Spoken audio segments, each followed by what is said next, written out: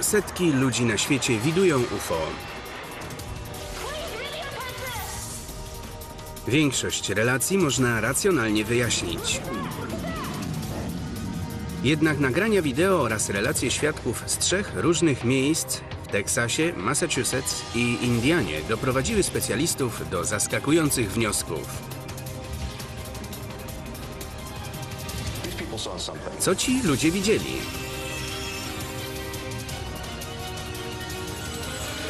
Pod lupą naukowców. Epidemia UFO.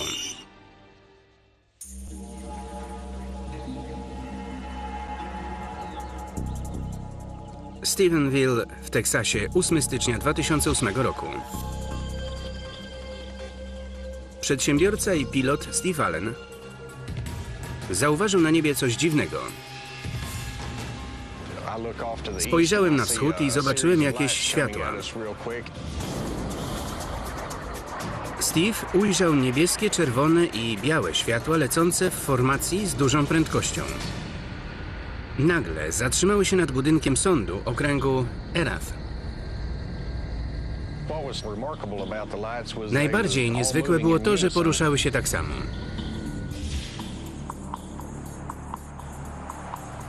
W tym samym czasie, 32 km dalej na zachód w miasteczku Dublin w Teksasie, konstable Leroy Gayton także zauważył niezwykłe światła. Musiały być do czegoś przyczepione, bo poruszały się jak ławica ryb, z tą samą prędkością w tym samym kierunku. Gdy Steve Allen dostrzegł światła, tworzyły łuk. Potem ustawiły się pionowo. Dwie sekundy później podzieliły się na dwie grupy po osiem.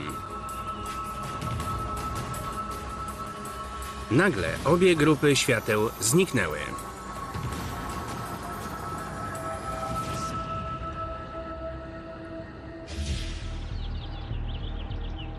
Istniał jeszcze trzeci wiarygodny świadek, policjant z okręgu Ireth, z 20-letnim doświadczeniem.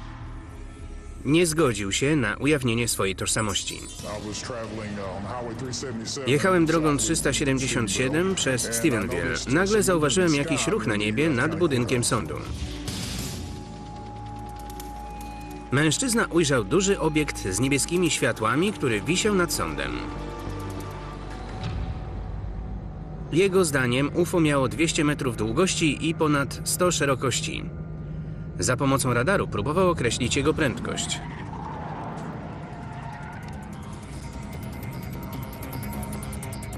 Namierzyłem obiekt. By radar namierzył cel, wiązka musi się odbić od jakiejś powierzchni. By określił prędkość, obiekt musi się poruszać. Wiązka odbiła się od obiektu, radar błyskawicznie go namierzył. Według policjanta obiekt poruszał się ze stałą prędkością 43 km na godzinę. Potem zaczął manewrować. Obrócił się o 45 stopni. Obiekt odleciał na małej wysokości, policjant stracił go z oczu.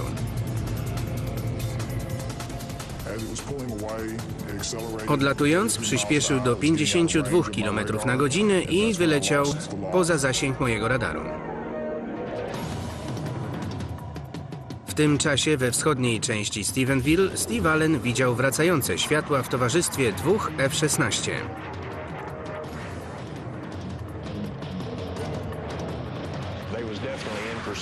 Zdecydowanie je ścigały. Leciały tym samym kursem. Próbowały je dopaść, ale bezskutecznie.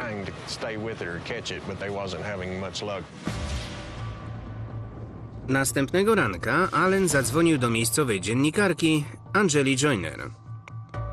Steve Allen wspomniał o dwóch F-16 ścigających obiekt, Więc zaczęłam dzwonić po okolicznych bazach lotniczych. Chciałam się czegoś dowiedzieć.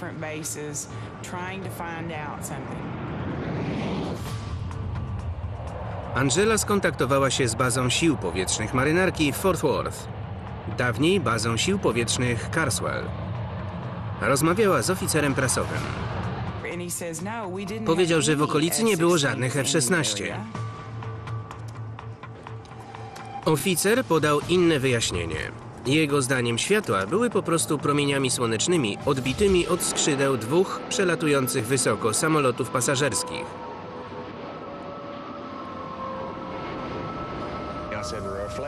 To nie mogło być odbicie słońca od skrzydeł. Samoloty pasażerskie nie latają z dwoma F-16 na ogonie na wysokości 300 metrów. Wieści szybko się rozeszły. Kiedy sprawą zainteresowały się media ogólnokrajowe, siły powietrzne podały inne wyjaśnienie.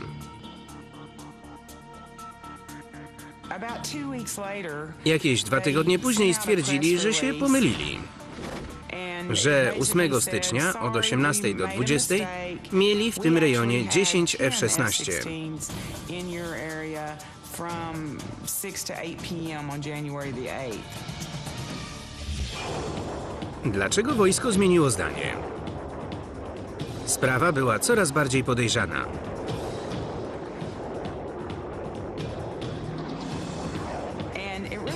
Ludzie byli wściekli.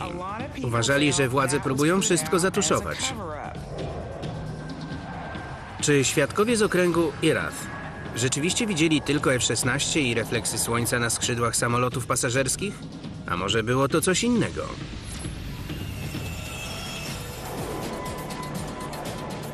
Departament Obrony nie zgodził się na przeprowadzenie wywiadów z pilotami z bazy Fort Worth.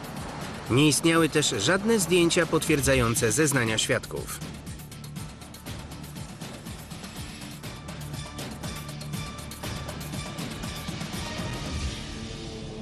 Miesiąc później sytuacja się zmieniła. Constable Gayton zdobył dowody. W lutym wraz z żoną sfotografowali dziwne światło nad Stephenville. Było w pół do dziesiątej, może dziesiąta. Wracaliśmy do domu i na niebie ujrzeliśmy światło. Wychyliłam się i zaczęłam robić zdjęcia.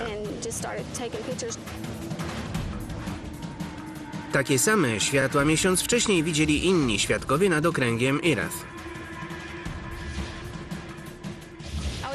Byłam zaskoczona kolorami. Czerwień, zieleń, błękit i biel. Zdjęcia były niesamowite. Kilka godzin później Constable Gayton pojechał na patrol i ponownie ujrzał światło. Natychmiast włączył zamontowaną w radiowozie kamerę.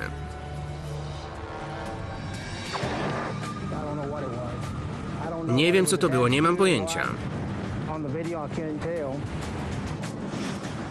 Po wydarzeniach w Teksasie, ekspert w dziedzinie technik radarowych zbadał dane miejscowego ośrodka kontroli lotów. Odkrył coś niezwykłego. 8 stycznia 2008 roku wielu mieszkańców środkowego Teksasu, w tym policjantów, widziało dziwne światła na niebie.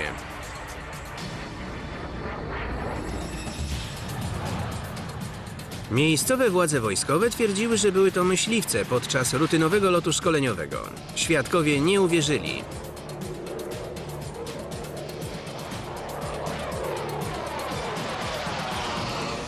Ludzie uważali, że wojsko próbuje coś ukryć. Przy braku zdjęć potwierdzających wydarzenia z 8 stycznia, ekspert w dziedzinie technik radarowych Glenn Schultz zwrócił się do FAA, Federalnego Urzędu Lotnictwa, z prośbą o namiary z tej nocy. Chciał ustalić, czy rzeczywiście działo się wtedy coś niezwykłego.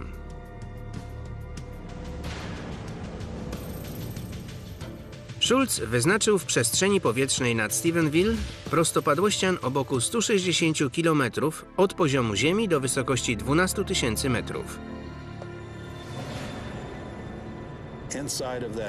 Przeanalizowałem wszelkie kontakty radarowe wewnątrz tego prostopadłościanu. Kontakt następuje, kiedy radar systemu kontroli przestrzeni powietrznej wykryje coś na niebie. Schulz zbadał trasę lotu 10 F-16, które zdaniem wojska były w okolicy w czasie pojawiania się UFO. Poza nimi odkrył coś jeszcze. Trzy niezidentyfikowane obiekty przelatujące w formacji nad Stephenville.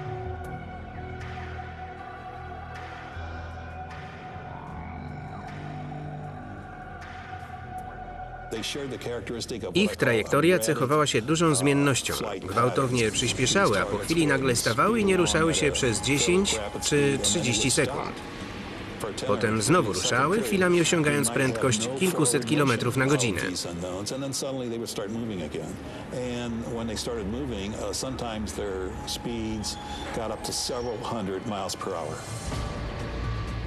Analiza Schulza pozwoliła poznać prędkość, położenie i sposób poruszania się trzech nieznanych obiektów. Potwierdza ona zeznania Steve'a Allena. Dane z radaru pokazują, że dwa obiekty odleciały z nad budynku sądu. Kilka minut później w pościg za trzecim ruszyły dwa F-16. Moim zdaniem, biorąc pod uwagę ich zachowanie w powietrzu, miejsce, w którym się znajdowały oraz czas, wszystko wskazuje na to, że to właśnie te obiekty widzieli świadkowie nad Stephenville.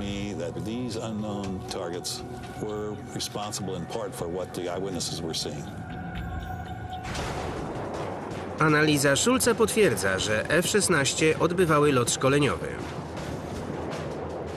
Okazuje się jednak, że kiedy myśliwce zawróciły ku bazie w Carswell Field, nagle porzuciły szyk.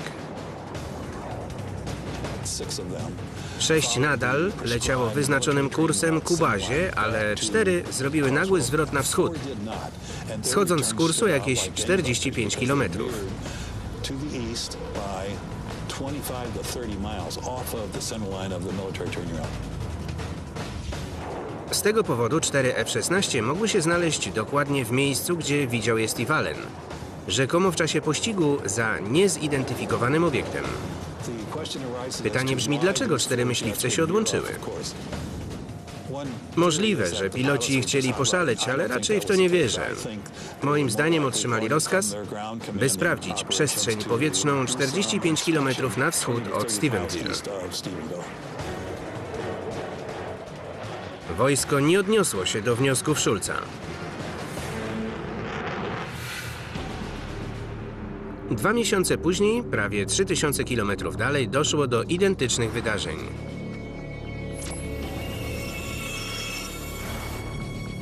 Southwick, Massachusetts, 18 kwietnia 2008 roku. Muzyk Dan Virno był w domu, kiedy jego dziewczyna zobaczyła coś przez okno w kuchni. Jakieś 10 czy 15 minut później zaczęła wołać, żebym wyszedł, że muszę to zobaczyć. Tuż nad horyzontem Dan zobaczył mieniącą się wieloma kolorami kulę.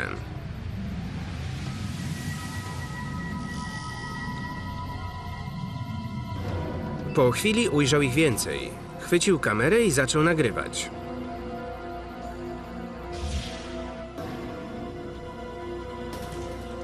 Światło właśnie znikało. Kryło się za horyzontem.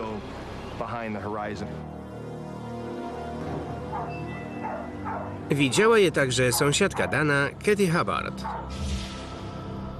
Im dłużej patrzyliśmy, tym bardziej się baliśmy. To istniało naprawdę. Nie poruszało się łagodnie w linii prostej, ale szalało po niebie i to bardzo szybko. Czasem obiekty zbliżały się do siebie, by po chwili znów się rozproszyć.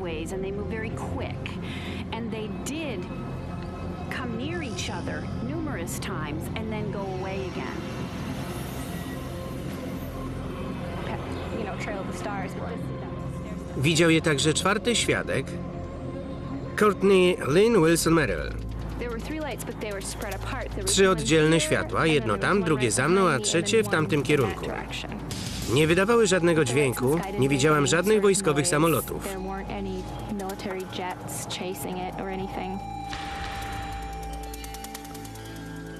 Courtney jest zawodowym fotografem. Zaczęła filmować najjaśniejszy obiekt. Leciały w formacji klucza? Tak. Manewrowały? Tak.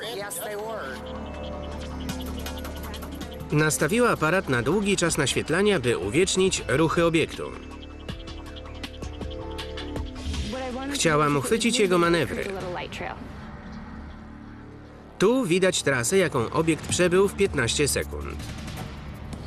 Najpierw poruszał się zgodnie z ruchem gwiazd, potem przesunął się w dół i znów poruszał się z gwiazdami. Powstało coś na kształt schodka. Pomyślałam, że to jakiś pojazd, może obcych, może wojskowy. Na pewno nie było to zjawisko naturalne.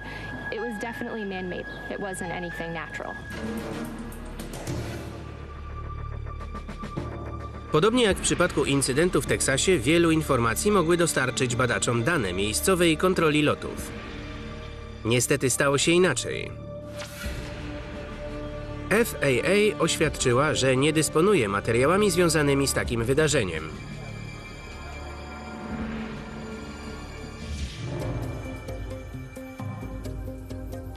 Podobieństwo zdarzeń w Teksasie i Massachusetts zaintrygowało emerytowanego pilota wojskowego i badacza wypadków lotniczych Davida Kennedy'ego.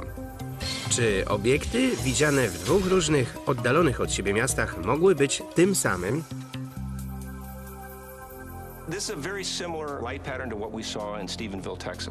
Światło jest identyczne jak w Stephenville w Teksasie. Pulsuje w taki sam sposób. Kennedy zaczął od poszukiwań racjonalnego wytłumaczenia obu zjawisk.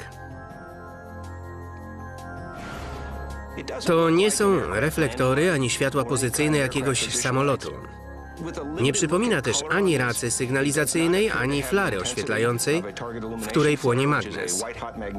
Nigdy nie widziałem czegoś takiego. Pokazałem te zdjęcia moim znajomym i oni także nie mieli pojęcia, co to może być.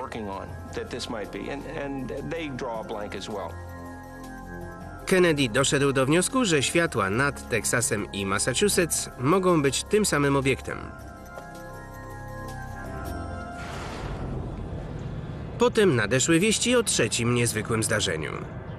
Dwa dni wcześniej, 16 kwietnia 2008 roku, 1300 km na południe od Southwick, mieszkańcy Kokomo w Indianie zobaczyli dziwne światła na niebie. Potem całym miastem wstrząsnął głośny huk.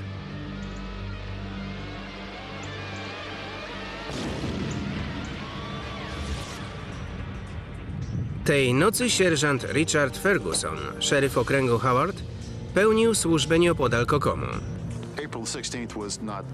16 kwietnia zaczął się jak każdy zwykły dzień, ale potem zmienił się w istny koszmar.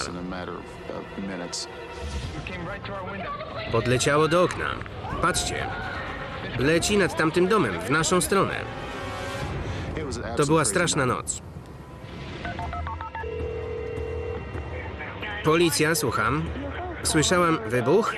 Już wysłaliśmy ludzi. Dziękuję. Telefon alarmowy okręgu Howard nie przestawał dzwonić. Kiedy wracałem do miasta, dostawaliśmy coraz więcej doniesień o jasnym świetle na niebie i czterech innych świetlnych obiektach wokół niego. Mieszkańcy Kokomo sfilmowali tajemnicze światła. Widzisz? Co to jest? Hank Bolger jest emerytowanym policjantem i weteranem sił powietrznych. Kiedy usłyszał huk, wybiegł przed dom. Zobaczył, jak z jednego obiektu powstaje pięć świateł, ustawiając się w jednej linii. Ustawiły się w rzędzie, poza nimi nie widziałem niczego. Nie odleciały, po prostu zniknęły w mgnieniu oka.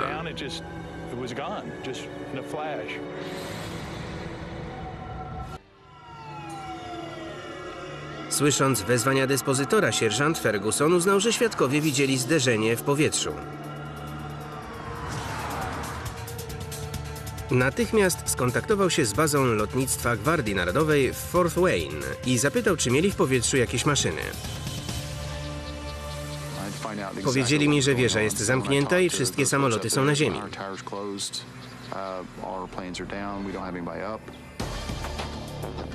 Kilka minut po huku Dustin Cronkite ujrzał coś, co przeczyło tym słowom. Zobaczyłem 14 lub 16 krążących samolotów, chyba odrzutowców. Na niebie były też dziwne światła.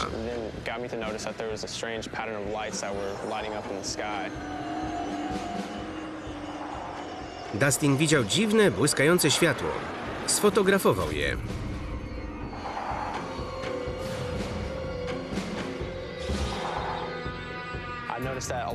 W obiektywie kamery układały się we wzór tęczy. Były wszędzie czerwone, niebieskie, zielone i fioletowe. Wszystkie kolory, których z reguły nie widuje się na niebie.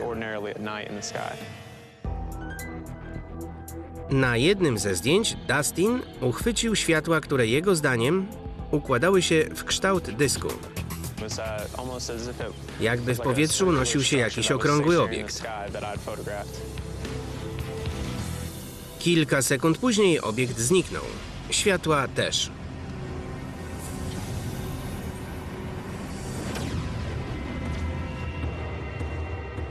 Pozostały jednak intrygujące zdjęcia, nagrania wideo oraz relacje świadków, którzy słyszeli głośny huk.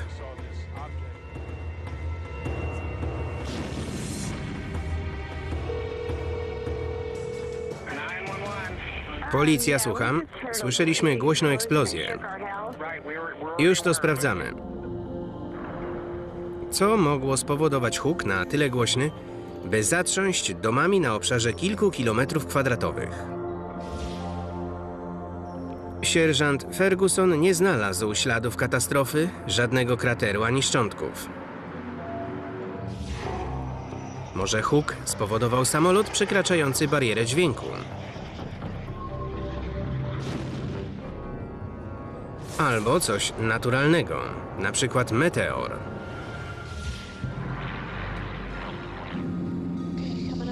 Jesteśmy nad przedmieściami Kokomo. Piękny dzień na latanie. Glenn Mins jest emerytowanym pilotem sił specjalnych. Szukał dowodów, że nad Kokomo eksplodował meteor. Gdyby to był meteor, wybuch byłby słyszalny na terenie dwóch okręgów, nawet gdyby eksplodował w powietrzu. Powinniśmy znaleźć jakieś ślady, na przykład dziury w ziemi lub w dachach domów. Glenn i jego pilot przeszukiwali okoliczne pola. Na razie nic, żadnych szczątków ani dziur. Potem coś znaleźli. Dziura na trzeciej. Chyba coś mamy. Widzę. Jakieś 2 na 3 metry, przynajmniej 3 metry głębokości. Trudno stwierdzić, bo w dziurze stoi woda. Dobra robota. Glenn chce obejrzeć krater z bliska. Jeśli powstał w wyniku uderzenia meteorytu, będzie to wielki przełom. Okazało się, że dół wykopał miejscowy rolnik, by dostać się do pękniętej rury. Niestety to nie był meteoryt, ani nic, co spadło z nieba. Teoria o wybuchu meteoru upadła. Nawet jeśli nad Kokomo wybuchł meteor, to nie dysponujemy żadnymi dowodami na poparcie tej tezy. Wnioski Glena mają jednak spore znaczenie. Brak jakichkolwiek śladów wskazuje bowiem, że to nie meteor wywołał wielki huk. Następnego dnia 122 Eskadra Lotnictwa Gwardii Narodowej wydała oświadczenie. Wojskowi wyjaśnili, że jeden F-16 przypadkowo pokonał barierę dźwięku w czasie lotu nad Kokomo.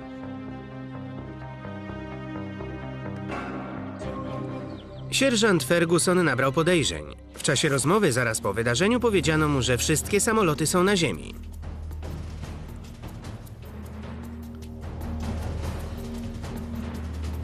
Na przeszkodzie dalszemu dochodzeniu w tej sprawie stanęła odmowa współpracy ze strony Pentagonu. Nie kupuję tej bajeczki o pojedynczym samolocie, to nie ma sensu. Może chcą coś ukryć. Nie słyszałem silnika odrzutowca, tylko pojedynczy głośny huk.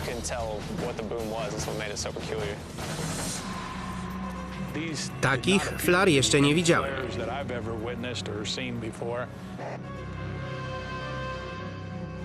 Kilka dni po oświadczeniu Gwardii Narodowej pojawiło się nagranie, które może potwierdzać wersję wojska.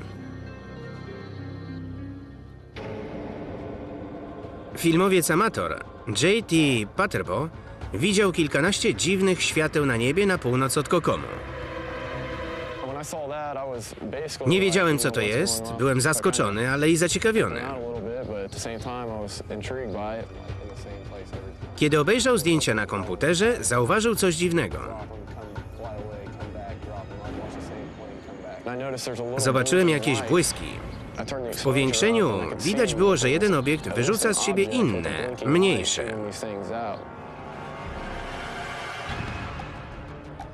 Emerytowany pilot marynarki David Kennedy analizuje zdjęcia zrobione przez JT. To klasyczny obraz F-16 wyrzucającego cele pozorne. Są dużo jaśniejsze Od niego i wylatują z tyłu. To na pewno samolot w czasie ćwiczeń.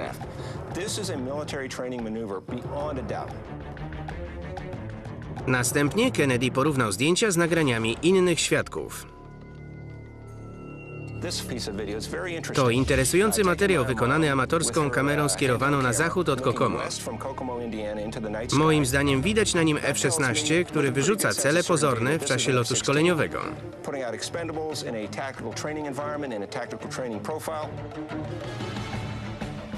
Kennedy orzekł, że światła na obu nagraniach pochodzą od F-16. Nie wyjaśnia to jednak innych zdjęć oraz relacji świadków o obiekcie w kształcie dysku.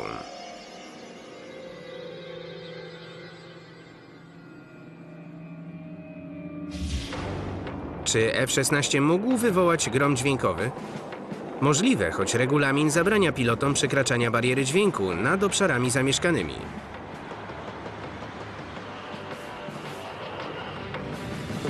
To bardzo wyraźne pogwałcenie regulaminu. Nie wolno tego robić.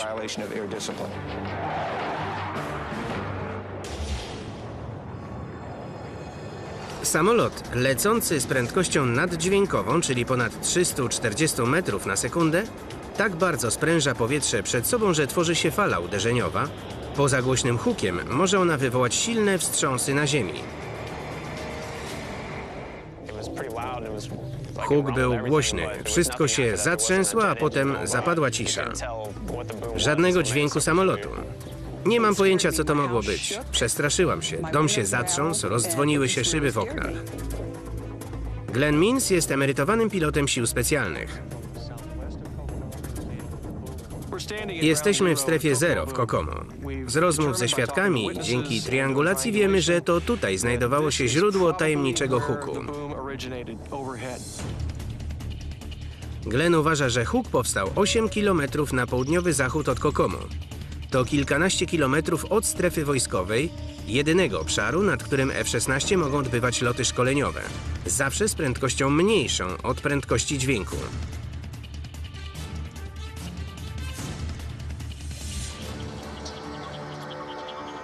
Glenn i inni przeszukali okolice. Porozmawiali też z 33 ludźmi mieszkającymi w promieniu około kilometra od epicentrum. Mamy zdjęcia. Wielki huk, jakby rozbił się samolot. Relacje świadków wskazywały, że huk był znacznie głośniejszy niż zwykły grom dźwiękowy F-16. Przekraczając barierę dźwięku, F-16 tworzy grom dźwiękowy o natężeniu 140 dB. Mniej więcej taki sam jak strzał z broni palnej. Świadkowie mówili jednak o huku tak głośnym, że zatrząsł fundamentami ich domów.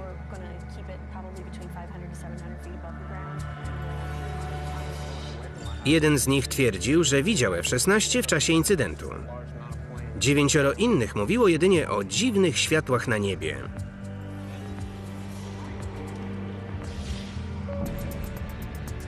Namiary radarowe lotnictwa cywilnego potwierdzają obecność kilku F-16 w rejonie Kokomo w chwili zdarzenia. Potwierdzają więc wersję wojska. Dane radarowe ukazują też jednak niezidentyfikowany obiekt, co potwierdzałoby zeznania świadków.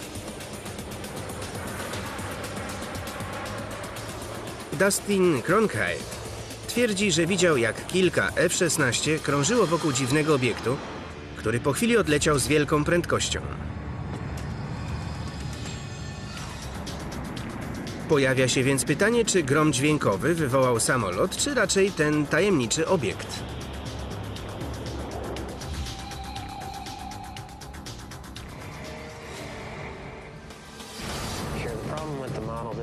Dr Scott Miller wykłada na Wydziale Aeronautyki Uniwersytetu w Wichita i pracuje w Państwowym Instytucie Lotnictwa.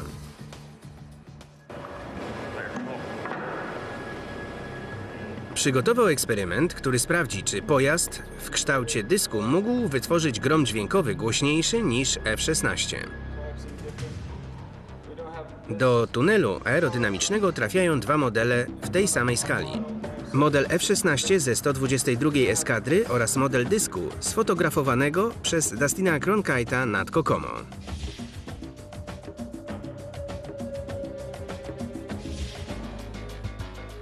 Dzięki metodzie wizualizacji o nazwie Schlieren badacze zobaczą przepływ powietrza wokół obiektu i poznają wielkość fali uderzeniowej wytwarzanej przez oba modele przy dwukrotnej prędkości dźwięku.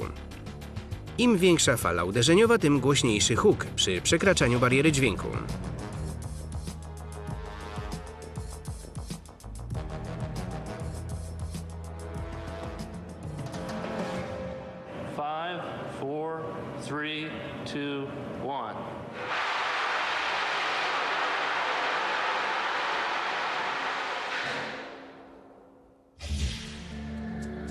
Na tych zdjęciach widać fale uderzeniowe wytwarzane przez F-16.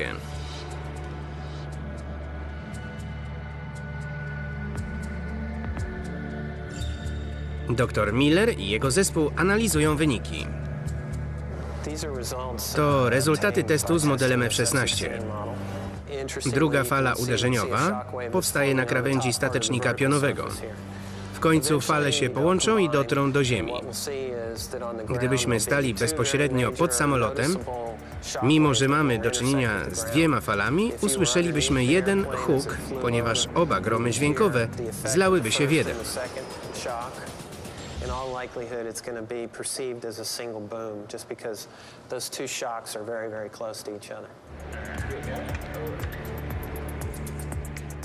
Teraz test dysku.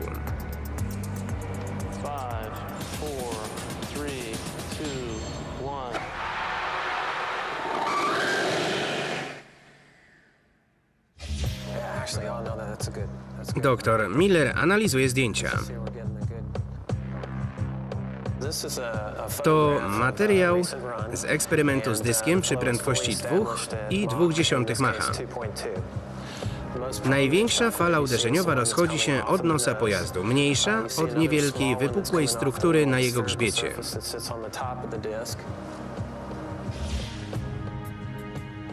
Po analizie obu testów dr Miller formułuje wnioski. W oparciu o badania metodą Schlieren mogę stwierdzić, że ten pojazd spowodowałby większy huk. Fala uderzeniowa generowana przez dysk jest dużo grubsza i silniejsza. To z pewnością byłby bardzo głośny grom dźwiękowy. So uh. Przy prędkości naddźwiękowej dysk wytwarza większą falę uderzeniową niż F-16.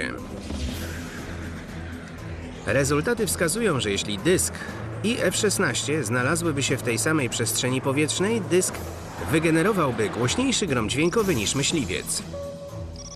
Nie udało się znaleźć żadnych nagrań huków Kokomo, lecz z badań w tunelu wynika, że mógł on powstać w wyniku przekroczenia bariery dźwięku przez obiekt o kształcie dysku. Nie wykluczają one samolotu, ale wielu świadków pamięta obiekt zupełnie inny niż F-16. To, co ukazują ich zdjęcia i nagrania wideo, w żadnym razie nie przypomina myśliwca.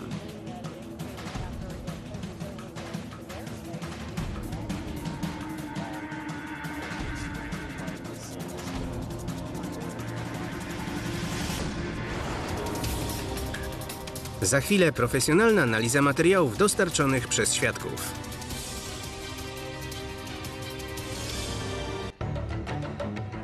Na początku 2008 roku mieszkańcy Teksasu, Massachusetts i Indiany widzieli na niebie dziwne obiekty. Kilku zdołało je sfotografować.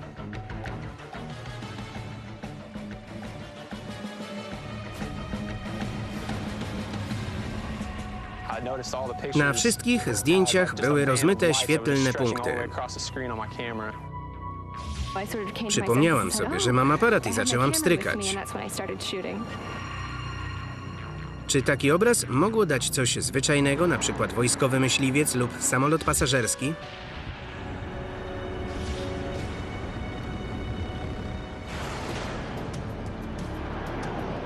Poszukiwaniem odpowiedzi na to pytanie zajął się Craig Schmidtman, zawodowy fotograf. Znalazł taki sam sprzęt jak ten używany przez świadków dziwnych zjawisk, po czym zaczął fotografować samoloty startujące i lądujące na lotnisku w Los Angeles.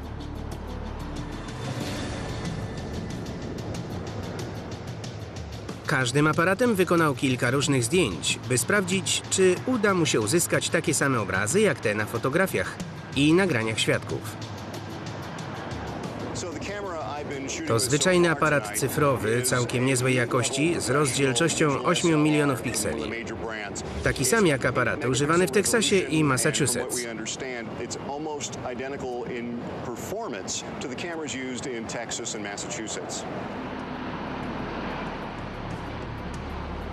Najważniejszy w eksperymencie Craiga jest czas otwarcia migawki. Im dłużej pozostaje otwarta, tym więcej światła dociera do matrycy. Umożliwia to wykonanie zdjęcia w kiepskim oświetleniu. Z drugiej strony, dłużej otwarta migawka sprawia, że poruszające się obiekty przyjmują formę smug. By uzyskać zdjęcia przypominające te z Teksasu, ustawiłem migawkę na czas od pół sekundy do 4 sekund. Chcę zobaczyć, w jakim ustawieniu uzyskam obraz najbardziej zbliżony do zdjęć wykonanych przez świadków tych dziwnych zjawisk.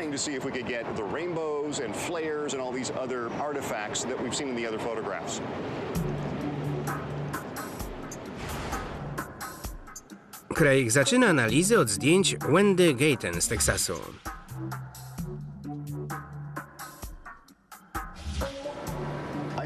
To ciekawe zdjęcie.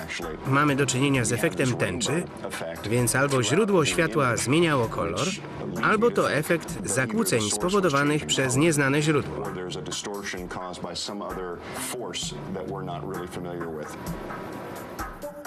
Craig porównuje zdjęcie Wendy do swojego zrobionego takim samym aparatem.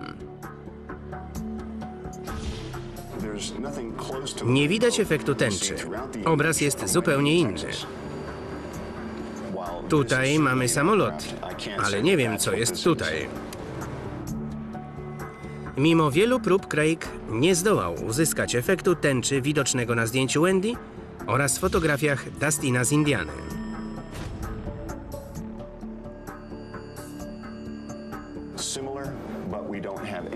Podobne, ale znowu bez efektu tęczy.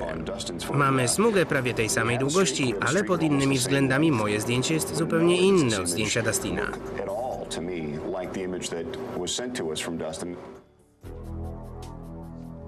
Następnie Craig zbadał zdjęcia Courtney z Massachusetts. Tu widać barwę pomarańczową, fiolet, a tu zielonkawą poświatę. Wydaje się, że aparat nie został poruszony w trakcie naświetlania, zwłaszcza biorąc pod uwagę długi czas otwarcia migawki. Aparat Courtney stał na statywie.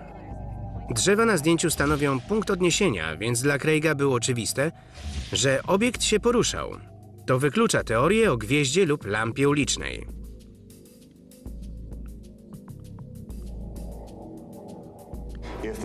Gdyby to była raca wystrzelona z ziemi lub flara z samolotu, mielibyśmy długą, prostą smugę. Jest jednak inaczej.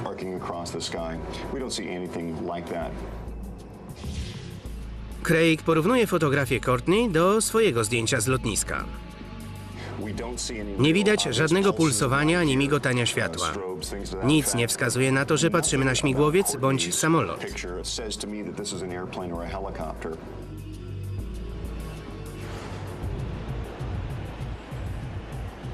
Craigowi nie udało się odtworzyć zdjęć wykonanych przez świadków dziwnych zjawisk.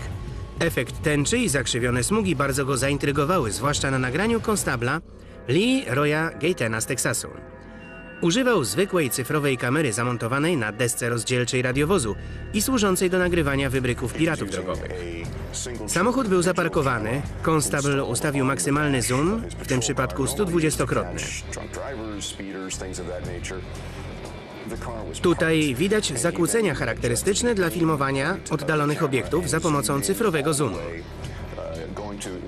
Pojawiają się barwy, których w rzeczywistości nie ma.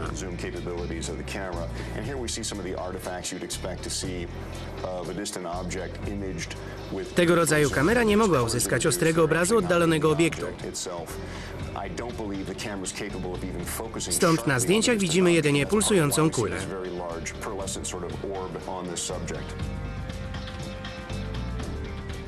Teraz Craig ogląda własne nagranie. To materiał z naszego eksperymentu. I znowu zwykła cyfrowa kamera miała kłopot z wyostrzeniem obrazu jasnego obiektu na ciemnym tle. Jak widzicie, zarejestrowało jedynie rozmyte światło. Moim zdaniem z dużą dozą prawdopodobieństwa można stwierdzić, że to, co sfilmował policjant, nie było samolotem ani śmigłowcem. Na materiale nie widać niczego, co przypominałoby światła samolotu. Moim zdaniem to nie był żaden ze znanych nam wszystkim pojazdów latających. Przed eksperymentem, gdybyście spytali mnie, co widzę na zdjęciach świadków, pewnie odparłbym, że gwiazdy. Teraz uważam inaczej. Ci ludzie naprawdę widzieli coś dziwnego.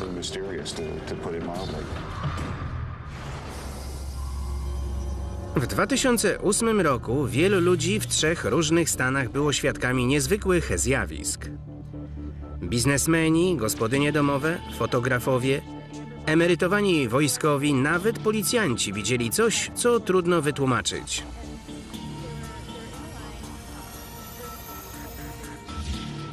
Niezwykłe podobieństwo ich relacji, zdjęć i nagrań wideo wskazuje, że być może widzieli te same, niezidentyfikowane obiekty.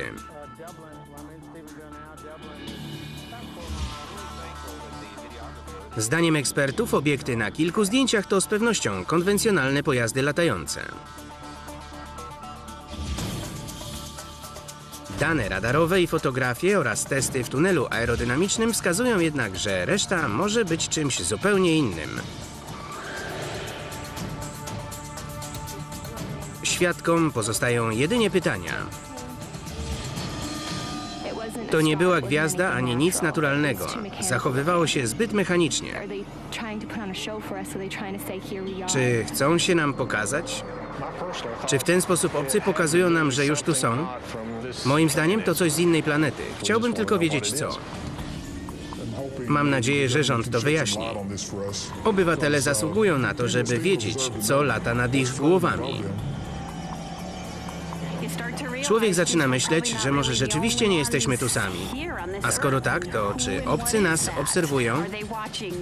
To naprawdę przerażające. Uh.